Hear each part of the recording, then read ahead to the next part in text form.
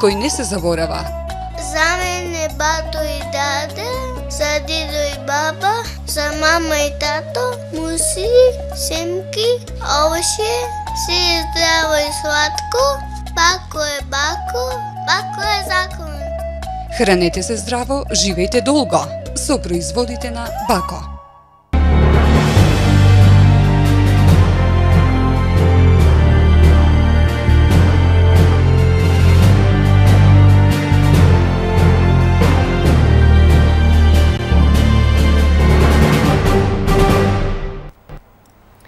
Краток преглед на настаните кои го одбележа последниот ден од месец август. Претениците од СДСМ утре се враќаат во парламентот.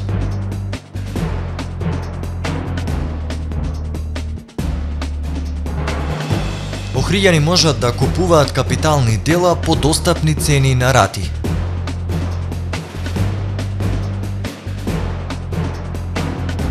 Охридските советници од ВМРО ДПМН изгласаа расипнички ребаланс на буџетот, обвинуваат советниците од СДСМ.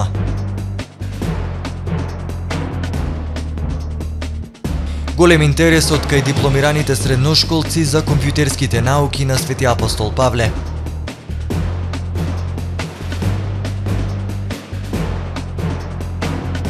Извидниците од Пионер повторно меѓу најдобрите.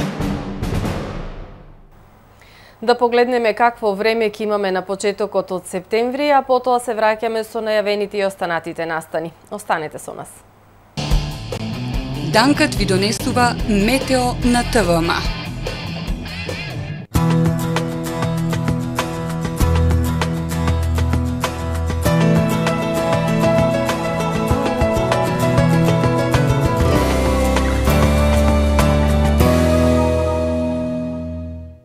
Денес во Охрид преовладуваше умерено сончево време со максимална дневна температура од 32 степени Целзиусови. Ова индексот достигна вредност 7, а дуваше и до умерен ветер од источен правец. И во вторник во јужна и југоисточна Европа продолжува сончевото и многу топло време. Сончево и топло се очекува и во делови од централна Европа.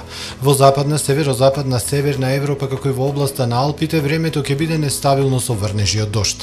Максималните дневни температури ќе се движат од 15 степени во Осло до 37 степени во Скопје.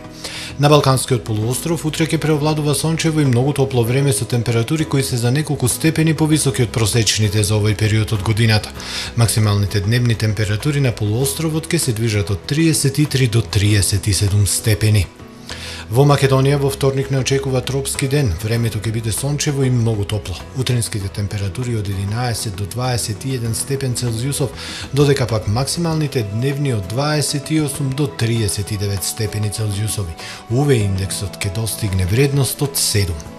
Во Охрид утре времето ќе биде сончево и многу топло. Утренската температура 15, а максималната дневна ќе достигне до 32 степени Целзиусови. Во среда во нашиот град продолжува сончевото и многу топло време. Дневната температура повторно до 32 степени. Сончево и многу топло ќе биде и во четврток, петок и сабота кога се очекува дневната температура да достигне до 31 степен, но утринските температури постепено да опаѓаат.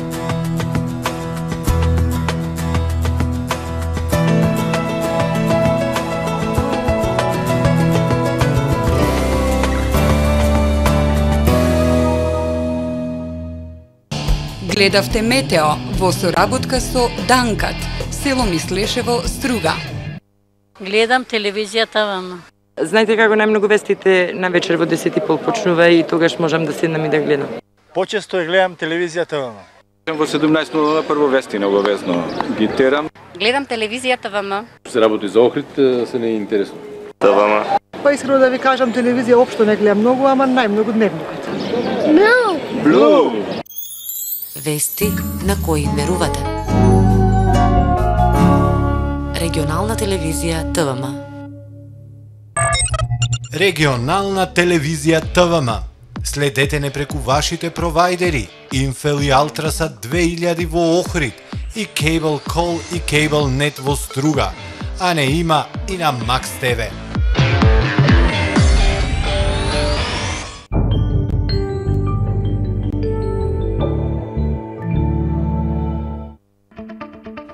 Тино, сместен во идиличниот пейсаж на населбата Свети Стефан, хармоничен спој на смирувачкиот амбиент на Борова шума и прекрасното синило на Охридското езеро. Опремен по највисоки стандарди, хотелот располага со спа центар, внатрешен и надворешен базен, базен за деца, детско игралиште, фитнес центар, сала за состаноци. Совршен избор за вашиот одмор и уживање за сите сетила. Ресторанот и летната тераса со капацитет од 250 гости погодни за организирање на секаков вид на прослави и забави, возбудливи кулинарски доживувања, приготвено со љубов и свежи состојки, доставено со љубезност. Хотел Тино, Свети Стефан.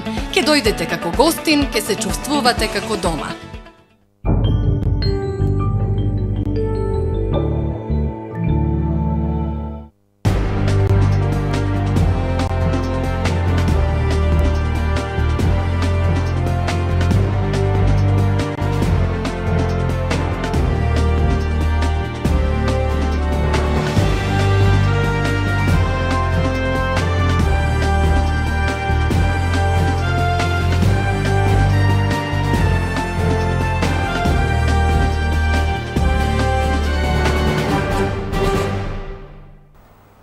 Добар ден, прво издание на Дневникот на ТВМ. Книгите се подостапни за охриѓани. Тие може да си купат капитални изданија по пристапни цени и нарати и со тоа да си ги збогатат своите домашни библиотеки. Националната установа библиотека Григор Парличев од неодамна започна со реализација на овој проект. Интересот кај љубителите на книгата да си купат скапо издание е голем. Охриѓани може да си купат публикации од капитални едиции по пристапни цени на рати. Пет национални библиотеки во Република Македонија од владата добиле обврска и можност да вршат продажба на книги од светската книжевност, врни дела од светската филозофија, историја и психологија и едиции на македонски искушенија, 130 тома македонска книжевност на англиски јазик. Постои огромен интерес, значи ние продаваме ги продаваме и поединечно книгите, меѓутоа одати во комплет. Би сакала да напоменам доколку се купуваат како комплет, читателите, односно сите граѓани имаат можност да комплет да купуваат на 10 еднакви рати. Просечната цена за една книга е 157 денари, а по детални информации околу продажбата и воопшто работата на библиотеката можат да се добијат на веб страната bibliotekaohrid.yahoo.com.mk. Оваа страна е од неодамна отворена, а во незината изработка помогнале студентите од информатичкиот факултет во Охрид. Инаку Белевска кажува дека има голем интерес кај охридската читателска публика и за позајмување книги од библиотеката. Во одделот за деца се зачленети 800 читатели, а во оделението за возрастни 2337. Претежно во летниот период билетристика, значи најнови романи, или ние постојано вршиме набавка на книги преку проект за набавка на книги финансиран од Министерство за култура. Гледам да набавиме се она што како најново издание го нудат издавачките куки, токму тие романи во летниот период пред летните одмори беа барани.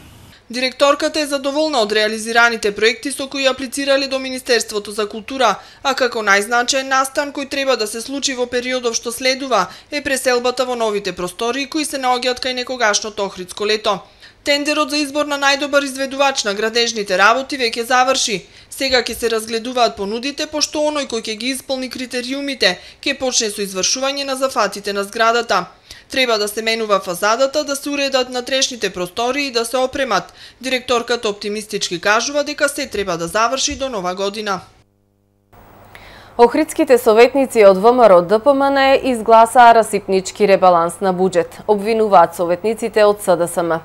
Скоро половина од ребалансот е наменет за реконструкција на Кеот Македонија, а охриѓани имаат поприоритетни потреби, укажуваат советниците од опозицијата. Парите може да се употребат за обнова на застарениот возен парк на јавното предпријатие Охридски комуналец, посочуваат опозиционерите. Додаваат дека од локалната самоуправа не се транспарентни ни за основот по кој овие средства ќе се влеат во општинската каса. 67 милиони денари е висината на последниот усвоен ребаланс на општинскиот буџет. Од оваа сума 36 милиони ќе се наменат за реконструкција на ке од Македонија. Со оваа одлука охридските советници од ВМРО ДПМН изгласа расипнички ребаланс на буџетот, обвинуваат советниците од СДСМ. Додаваат дека за две и пол години градоначалникот Никола Бакрачевски и ВМРО ДПМН не реализираа нити една капитална инвестиција за градот. Последниот ребаланс советниците од позицијата го донесоа на нетранспарентен начин, а од него ќе се трошат пари за реконструкцијата на кеот кој во добра состојба, велат од СДСМ. На кој начин дошле до бројката од 67 милиони денари, зголемени средства кои што на во најголем дел ги преведуваат на расходната ставка, ето популарно ќе наречам за да разбират граѓаните, тоа се комунали од градежни објекти. Меѓутоа, кој најавил градба? Зашто, зашто од, од, од, од кој извор ќе видат тие комунали воопшто не објаснаа. Значи, приходната страна воопшто не беше објасната. Исто така и на нашите прашања да видиме како дошле до 36 милиони дека ќе изнесува реконструкцијата за КЕО, повторно останаа без зборови, барем нас не ни беше сигурно даен, а тогаш беше времето, сега веќе е касно доколку ги извадат, тогаш беше времето да го дадат проектот и да образложат како ќе изгледа тој нов кеј и како дошле до сумата од 36 милиони. А граѓаните нека си просудат дали е тоа дефинитивно приоритет за развојот на нашиот град Охрид. Со оваа одлука на советниците од позицијата на Повидок е уште еден проект со цел народните пари да завршат во приватни джебови по примерот на Скопје 2014-та, обвинуваат социјалдемократите. Граѓаните пак имаат потреба од капитални инвестиции, посочуваат опозиционерите. Наместо тоа, овие пари би можеле да се употребат за амортизираниот и застарен возен парк на јавното комунално предпријатие Комуналец, чија што вкупна вредност на возниот парк на сите машини, камиони, багери и останати возила е во износ од околу 600.000 денари. Значи целокупниот возен парк кој што го поседува јавното предпријатие. Може исто така да се модернизира начинот на наплата на паркинзите и за стриктно и доследно спроведување на режимот на сообраќај. Повеќе од очигледно е дека граѓаните имаат по приоритетни потреби, затоа се потребни промени за реален, домакински долгорочен развој на градот. Охрид да се врати во атрактивен град за живење, наместо да има највисока стапка на иселување во државата, порача Јован Стојановски, координатор на советничката група на СДСМ од Охрид. Од локалната самоуправа со реакција на денешната пресконференција на советничката група на СДСМ од Охрид во реакцијата стои. Обштинската организација на СДСМ на денешната пресконференција конечно и официјално потврди дека мака мачи со интензивната реализација на голем број проекти во Охрид. Со ова СДСМ од Охрид сака да им ги замачка очите на нивното членство, а од друга страна да го оттргне вниманието на граѓаните кои во овој момент јавно изразуваат задоволство и упатуваат пофалби за проектите што сега се реализираат. Не можејќи да најдат контрааргументи во нивното политичко спротивставување за интензивното разубавување на градот, денес од СДСМ Охрид искажа една небулоза во која истакнаа дека се против разубувањето на Охрид со изградбата на Кејот, а да е абсурдот поголем во преостанатиот дел од пресконференцијата изразија заложби за зголемување на атрактивноста на Охрид. Посебно изненадува неупатеноста на координаторот на советничката група на СДСМ од Охрид за тековните заложби на локалната самоуправа за набавка на нови пет специјални возила за урбана хигиена во вредност од околу 20 милиони денари, а од друга страна критикуваат за необновување на возниот парк и механизацијата на јавното комунално предпријатие, зашто имаат цели 8 години да го направат тоа. Напоменуваме дека парите од ребалансот на буџетот ќе се трошат за видливи проекти кои ќе бидат од општа корист за граѓаните на Охрид, вклучително и градскиот кеј кој ќе ја зголеми атрактивноста на градот. Парите нема да бидат потрошени за проекти кои никаде до ден денес ги нема, онака како што тоа го правеа нивните ментори од минатата локална власт кои денес се нивни идоли. Затоа граѓаните ја почитуваат и веруваат во оваа локална власт, а не веруваат во манипулациите на СДСМ од Охрид.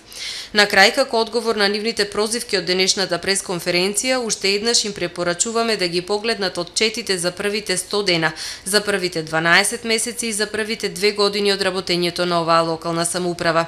Ние знаеме само за отчетно и транспарентно работење со користење на факти и аргументи, стои во реакцијата испратена од локалната самоуправа.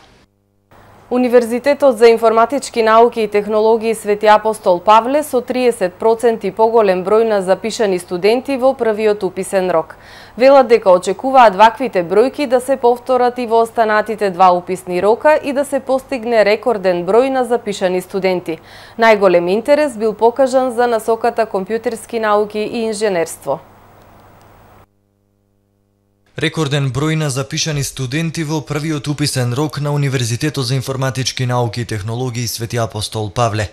Таму бележат пораст од 30% на запишани студенти, а според интересот кој бил покажан кај дипломираните средношколци од универзитетот велат дека очекуваат ваквите бројки да се повторат и во останатите уписни рокови. Најголем интерес имаше на студиската програма за компјутерски науки и инженерство. Тоа е таа општа програма за инженери што имаме, а воедно на неа имаме уште отприлика 9 слободни места и тоа во квота со кофинансирање.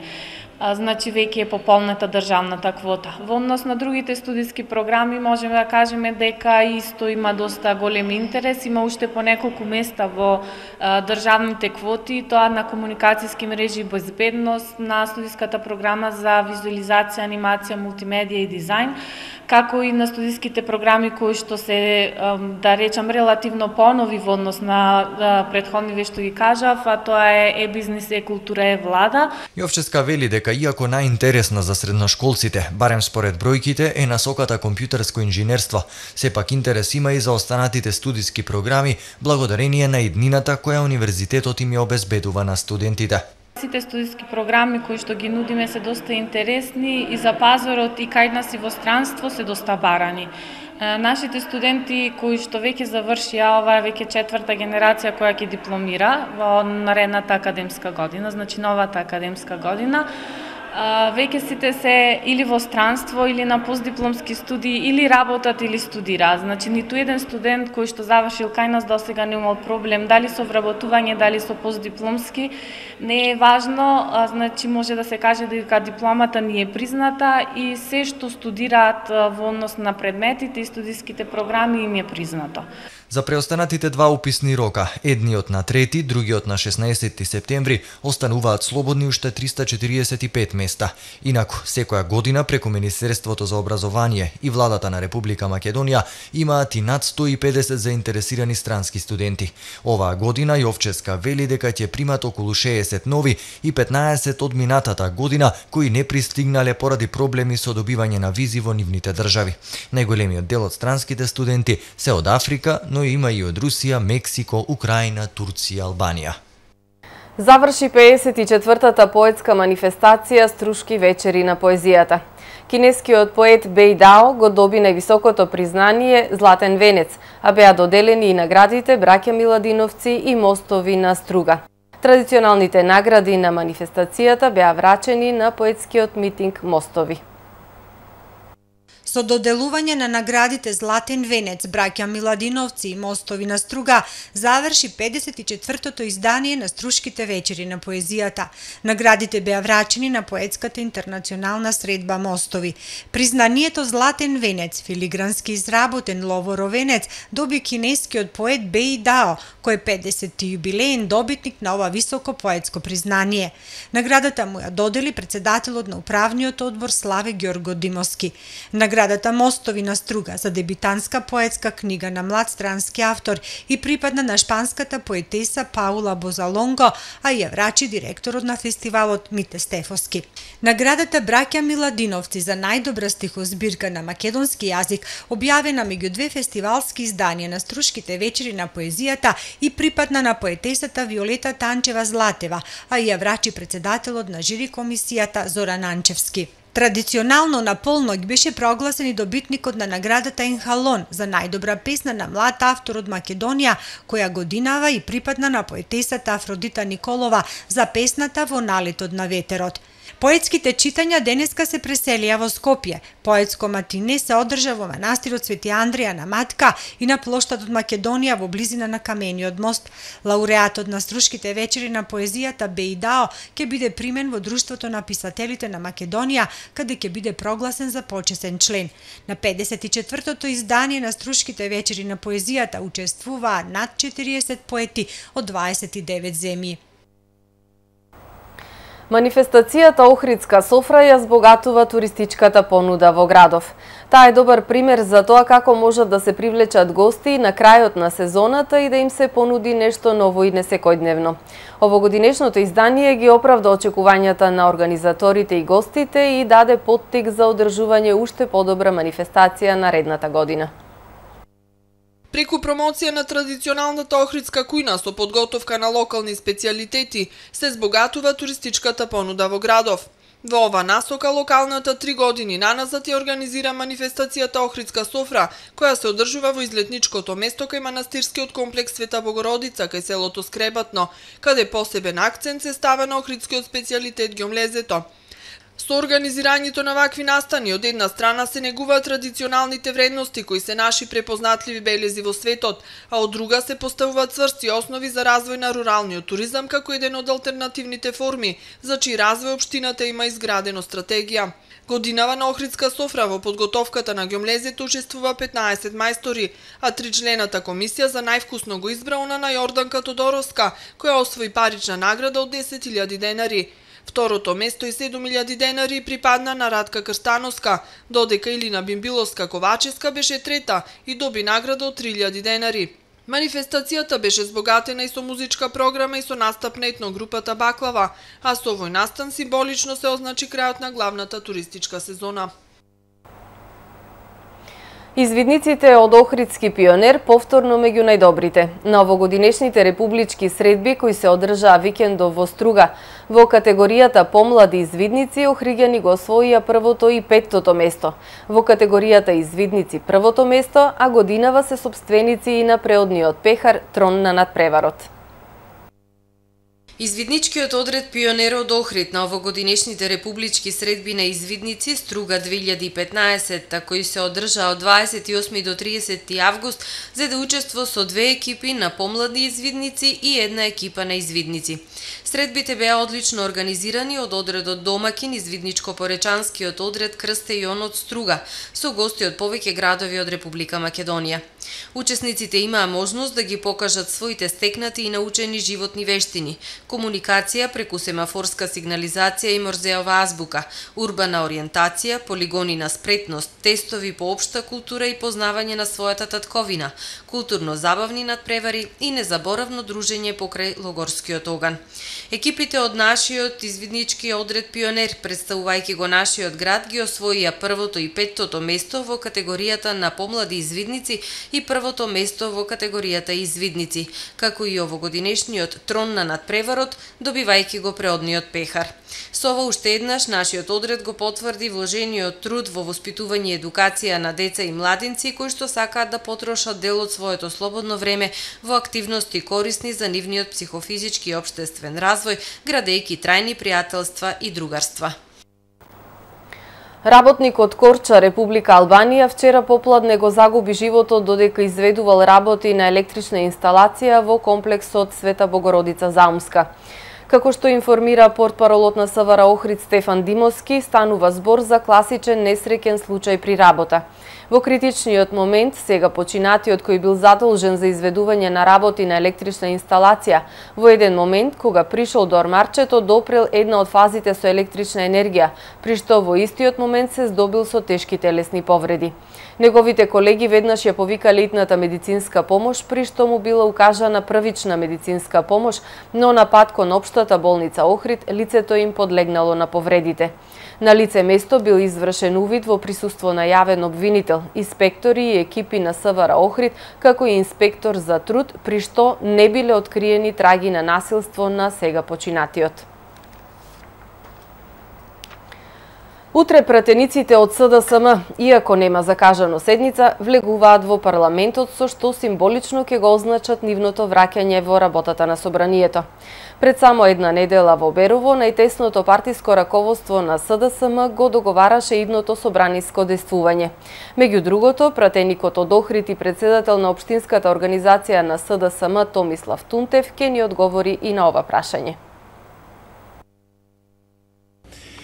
Во Берово се договоривме за понатамошното делување во смисол на состав на комисиите собраниски, во смисол на организацијата на координативните состаноци на организацијата на пратеничката група, меѓутоа основната причина за нашиот престој во Берово беше обуката која имавме како пратеничка група, организирана од Институтот Фридрих Еберт, Институтот Прогрес и исто така во смисол на целите, задачите, функциите на пратеникот, улогата на пратеникот како институција во нашиот политички систем и секако можам слободно да кажам дека тоа беше еден вид дружење во кое и практично и теоретски се запознавме со она што нас како пратеници не очекува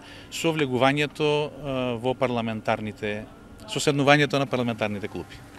Дали парламентот ќе биде само гласачка машинерија за донесување на одлуките кои што ќе произлезат од она што ќе го сработат работните групи, а во насока на имплементација на договорот од Пржина? Па една од многуте причини заради која ние влегуваме во парламентот, значи после година и пол, е токму таа. Парламентот конечно да престане да биде гласачка машина. Вие сте сега сведоци дека во три собраниски седници експресните пратеници на ВМРО ДПМН и коалицијата носат 400 закони. Тоа се се закони за измени и дополнување на одредени закони кои задираат огромен број области. Тоа и јас мислам и во Гинисовата книга на рекорди е тешко да се најде.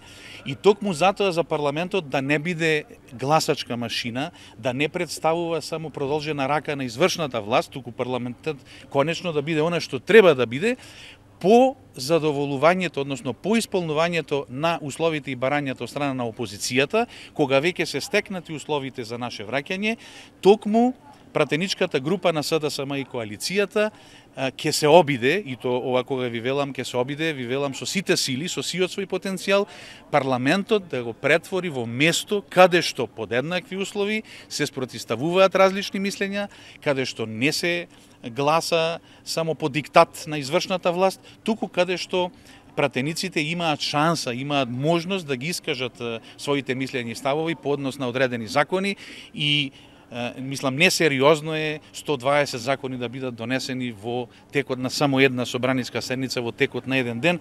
Тоа мора и сега ќе престане, треба да престане, што значи опозицијата на парламентот ќе му ја врати душата, ќе му го врати оној дух демократски кој треба да го има секој парламент.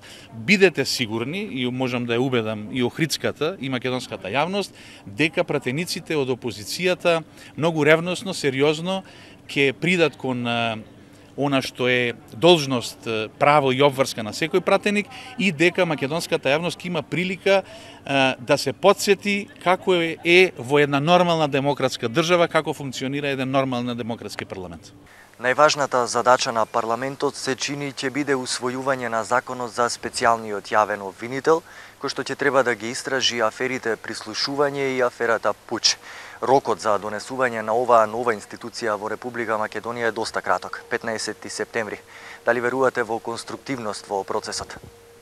Власта ги прифати условите од договорот, власта ги прифати препораките од извештајот на високите експерти од Европската комисија или познат како извештајот на Прибе, што значи верувам дека роковите ќе бидат испочитувани всушност и една од причините за враќањето на опозицијата во парламентот на 1 септември е токму да биде подготвен парламентот со сиот свој капацитет да ги донесе законите или измените и дополнувањата на законите кои ќе дефинираат функцијата, статусот, положбата на специјалниот јавен обвинител и на неговиот тим, за да може со неговиот кадровски избор до 15 септември да почне и несметано да функционира.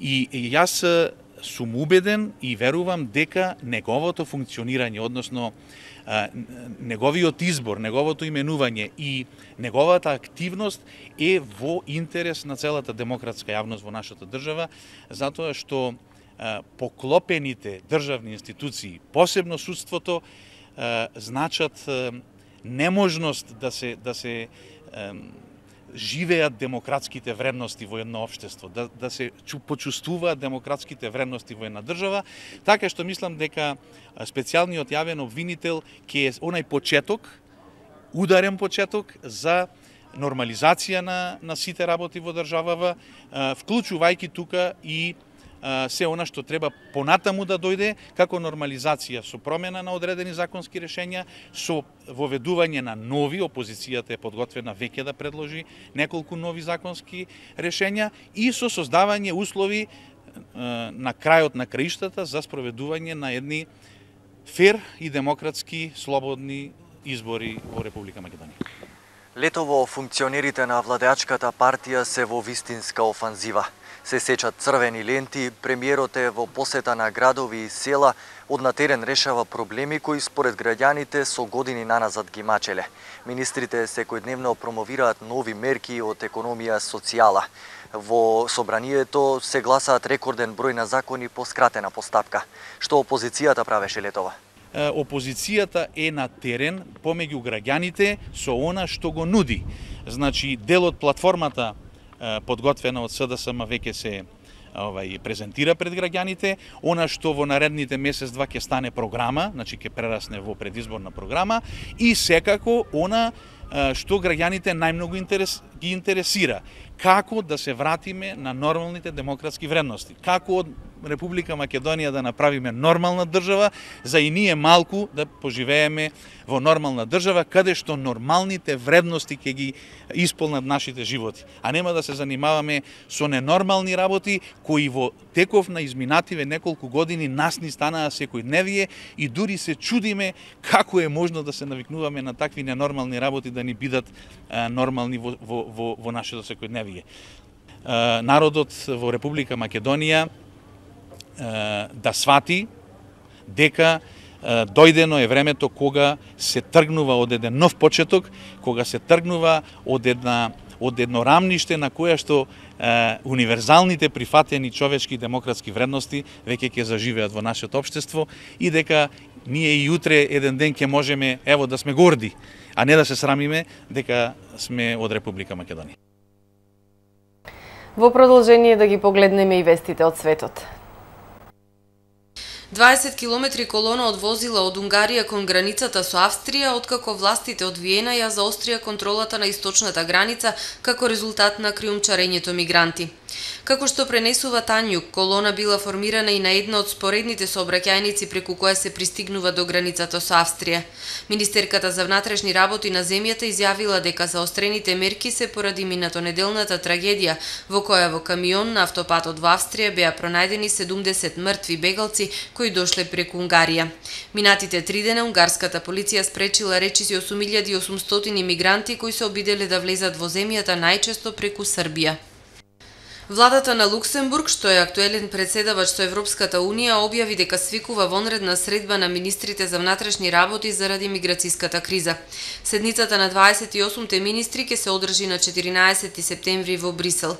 Седницата ќе се фокусира на политиката на враќање на илегалните имигранти во нивните родни земји и апсење на трговците со луѓе, пишува луксембуршкиот министер за миграција и азил Жан Аселборн. Луксембург не објави дали повторно ќе се стави на маса гласањето ушто квоти за прифаќање на бегалци предложена од Европската комисија. За новите општи правила потребно е гласање со целосна едногласност. Повеќето земји досега ги отфрлија законските квоти и дури не успеа да се разберат за солидарна распределба на 40.000 луѓе од Италија и Грција. Најмалку 11 лица загинале, а 219 се повредени во пожарот што избувна во стамбена зграда во која живееле вработени во нафтената компанија Сауди Арамко во Саудиска Арабија. Некои од повредените биле во критична состојба. Жителите од околните згради биле евакуирани. Пожарот се појавил рано утрото во подрумот на шесткатната зграда во гаражните простории и брзо се проширил во внатрешноста на зградата. Во гаснењето на пожарот и евакуација на станарите учествувале и хеликоптери. Сауди Арамко е најголемата нафтена компанија во светот и во неа работат над 60.000 лица од различни националности. Аргентинските болници со закон се обврзани да вработат кловнови. Болниците во покрајината на главниот град Буенос Айрес, која е најголемата во Аргентина, со закон се обврзани да вработат кловнови на своите педиатриски оддели. Законот беше изгласан во јули, а стапи на сила минатата недела со неговото објавување во тамошниот службен вестник. Смејата е најдобриот лек, вели авторот на законот. Кловновите ниту досега не биле редкост во аргентинските болници, меѓутоа ова е прв пат тоа да биде регулирано со закон. Во покрајната Буенос Ајрес има 70 јавни болници во кои што кловновите ќе бидат законска обврска за нивните управи. Ова беше се што подготви информативната редакција на ТВМ за денес. Ви благодарам за вниманието. Пријатно.